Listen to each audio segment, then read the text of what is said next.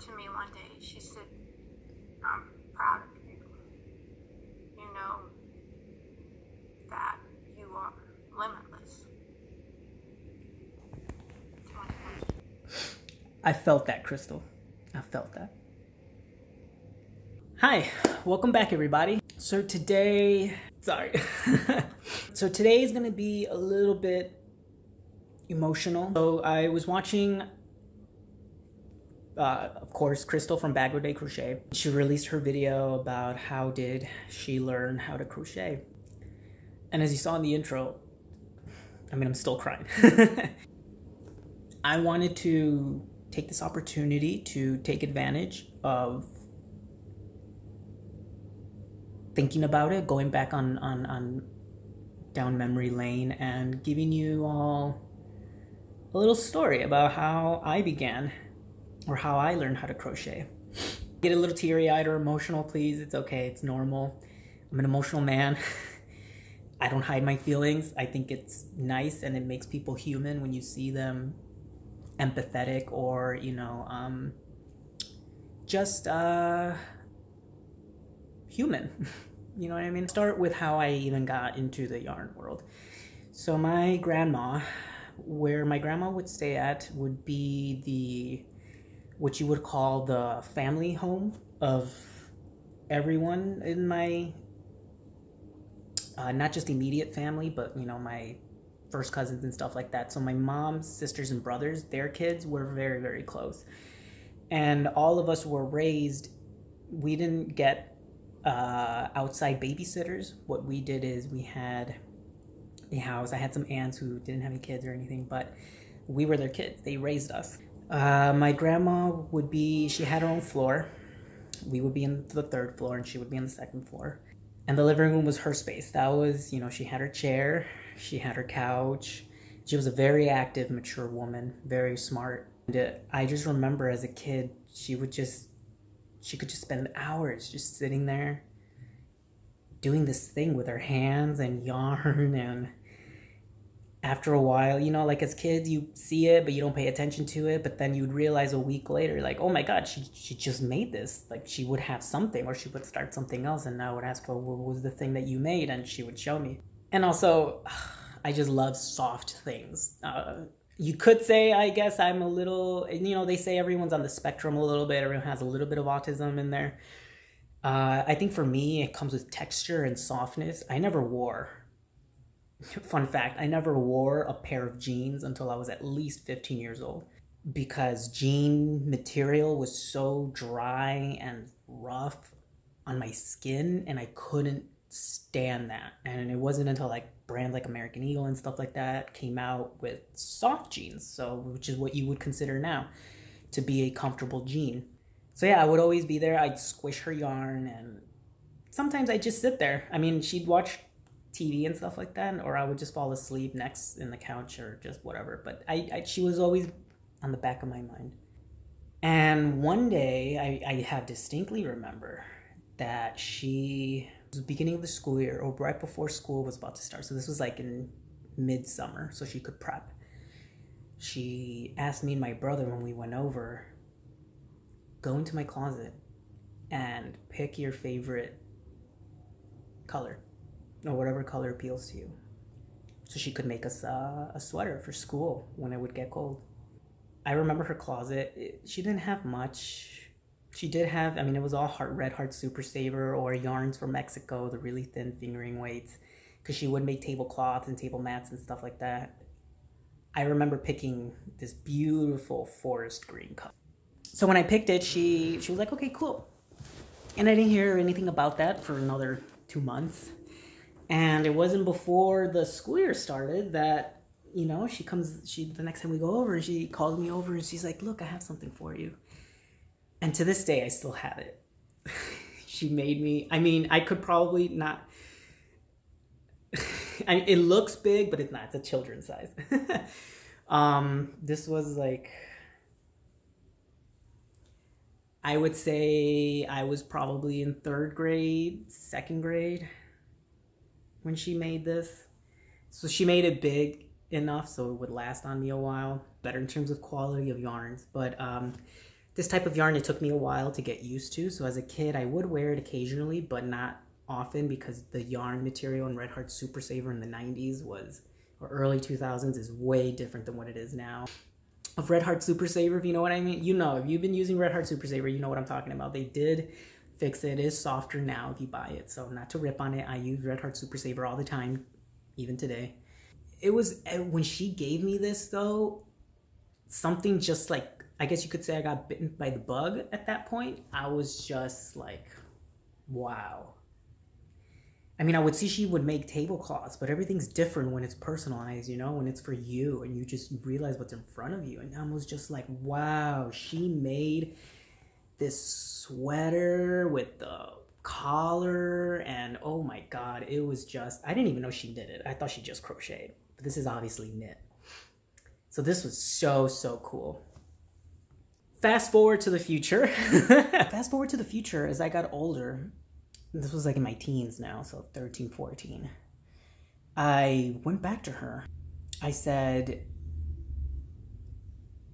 Can you teach me what you're doing?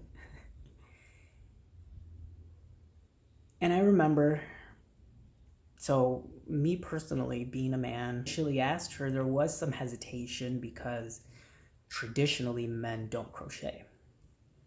So she was worried in her own mind that if she was going to teach me to crochet that that would turn me gay or make me less of a man if people found out or that people would make fun of me for it and I wouldn't be able to enjoy it and carry on the craft which is sad that that even happens, but it was a true thing. So it, it took her a while to finally be able, and I didn't even know this. This was something my parents told me later on that she had a conversation with them that I did ask her to teach me how to crochet and stuff. So I didn't even know this until I was an adult. Even to today, it's so, I mean, it's easier now for men to be more free and do things that before was considered an exclusivity to a gender, which is dumb. Like colors don't belong to genders, practices don't belong to genders. As long as you have two hands and a brain and a passion and a heart and something, anyone can do it and anyone should be allowed to do it. But anyways, after a while and after some convincing, she did she sat me down one time. And just like Crystal, the first thing she taught me was how to unwind, un- how to frog something and ball and turn it into a ball. She taught me how to respect the yarn that a yarn isn't something you just toss around or throw or, you know, crumble. You can squish it, but you can't mess up the integrity of the yarn. So yeah, I so that was the first lesson was learning how to unwind and frog. The second lesson was just how to do a chain. Is that she taught me how to chain over and over and over, like until I got my tension right. She, because I was very, I would always pull it. My tension was always, always so tight when I was young. And so she would always, that was the first thing. She was like, I can't teach you anything else until you learn how to chain with, with the right tension or how to control your tension. Be there. Chain, chain, chain, chain, chain, chain, chain. Frog. Turn it into a ball. Chain, chain, chain, chain, chain. And all she taught me was just double crochet. That was it. I remember she taught me double crochet. And she said, as long as you know this, you could pretty much do anything. She's like, you don't have to learn too much but what I want you to know is how to get the basics down because if you have the basics and a good foundation, everything else is just to when her in her words to show off or to just glitz and glamour. She was like, you don't have to make it complicated, but as long as you know a good foundation, it can turn into anything. And I always liked that that she taught me that or spoke to me in that way.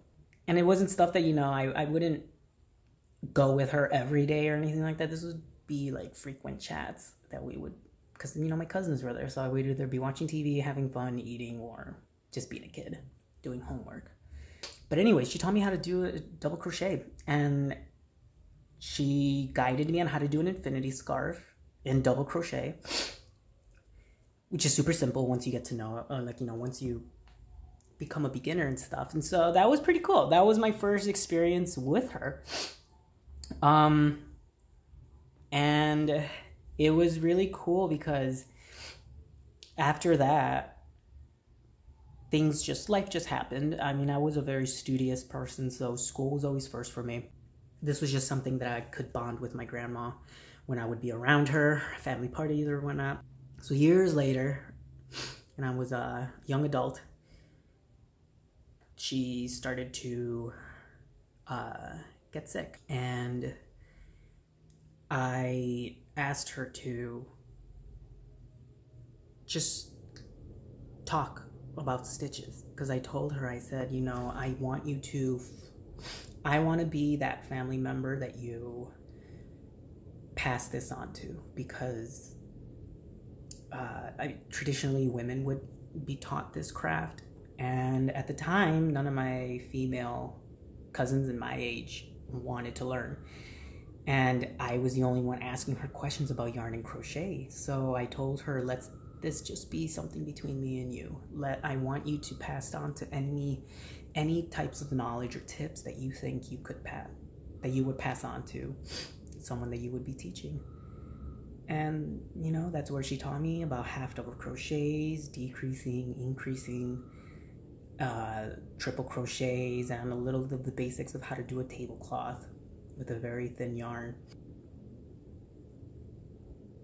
That's really as far as it got when it came to my relationship with my grandma but to this day it's just one of those big big big regrets where I wish I could have made her something or you know, I now that I think about how this talent um was inside me the whole time. I'm sorry. I know there's nothing I can do to control it or anything, but uh I just wish I was passionate about it earlier. So I could have made her something.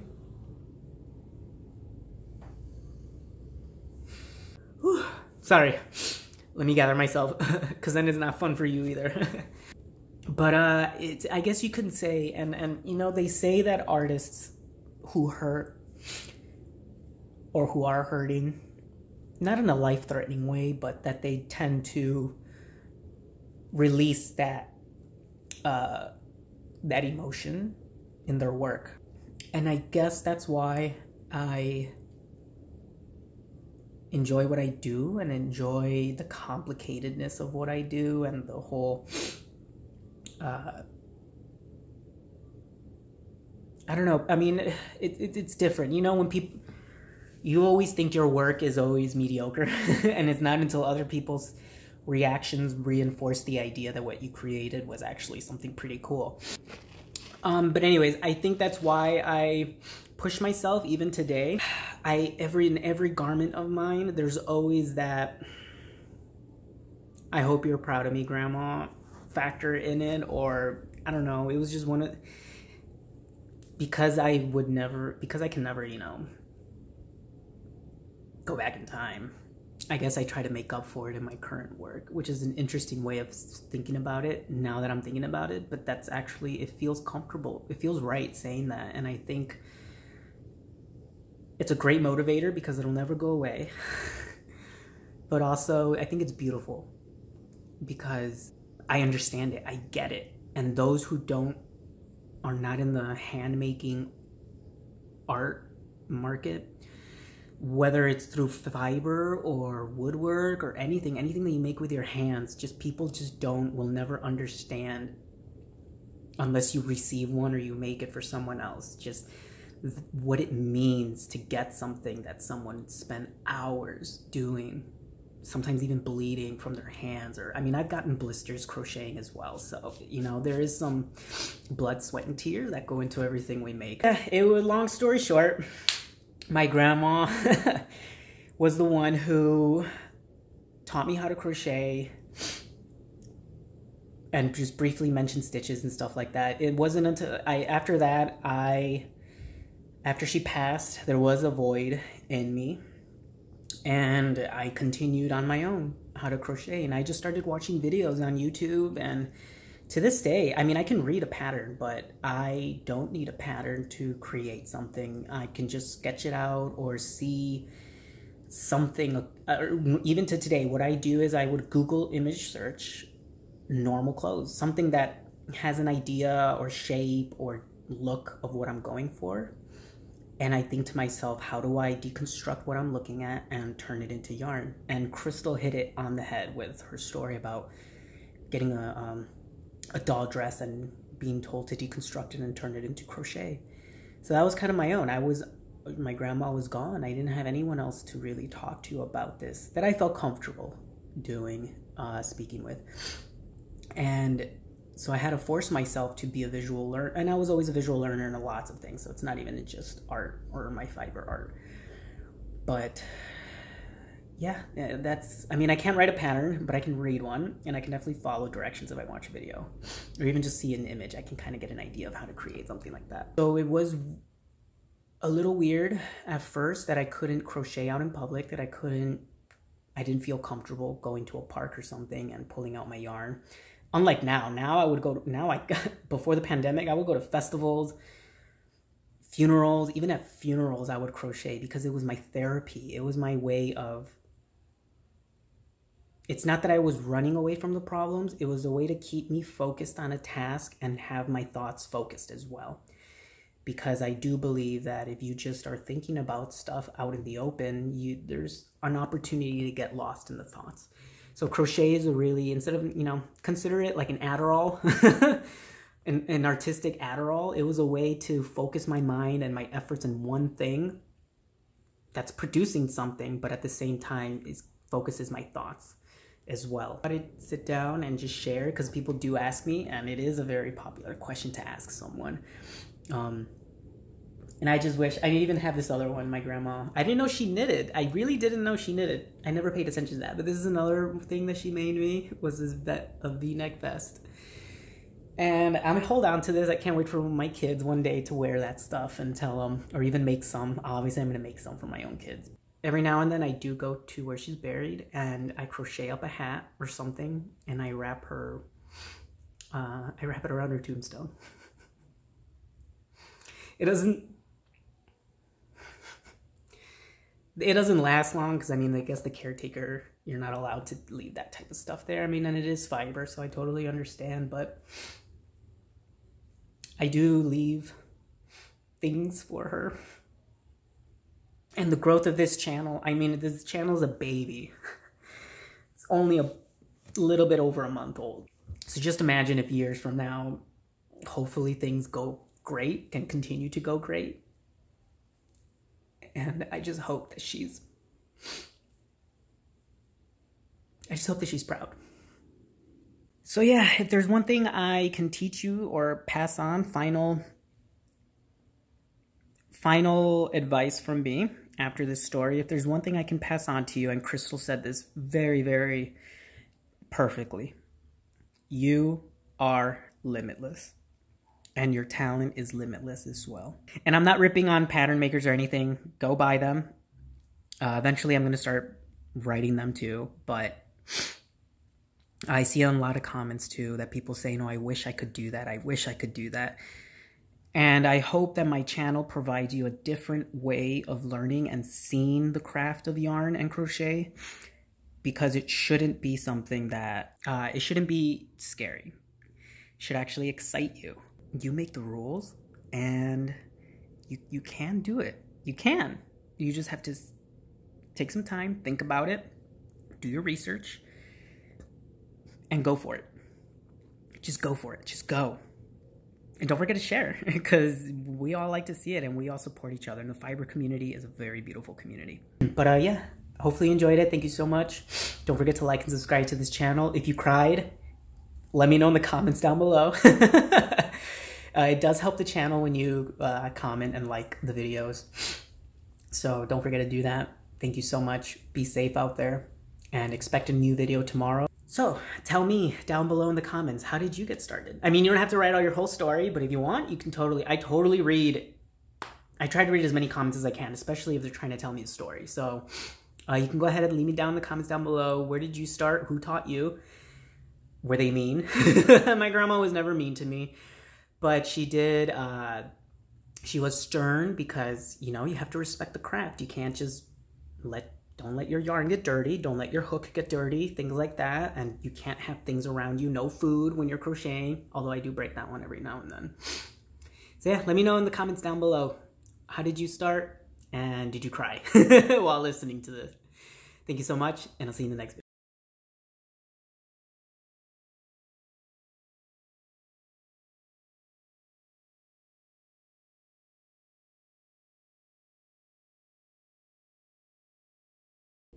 I want to take this time to thank my members. Thank you so much to my influencer group, Blanca Valtierrez, MMR Crochet, and Noemi Torres. For my inner circle, thank you so much Araceli Pintado, Resilient Strands, and Karen Miller.